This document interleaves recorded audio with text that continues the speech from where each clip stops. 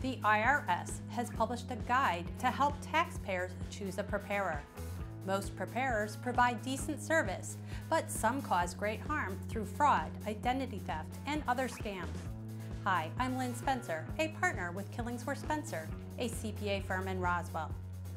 The IRS says that good tax preparers must have a valid preparer ID, never promise big refunds, not charge based on the size of a refund, be available year-round, have professional credentials, attend continuing education classes yearly, no adverse record with the Better Business Bureau nor State Board of Accountancy, ask for records or receipts, would represent the taxpayer before the IRS in any situation, and never ask one to sign a blank or incomplete return.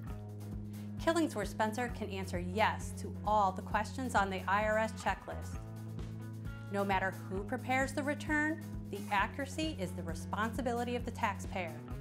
If you have questions or need help filing your taxes, don't hesitate to give us a call at 770-552-8286 or visit our website at killingsworthspencerllc.com. At Killingsworth Spencer, we help our clients understand the choices that matter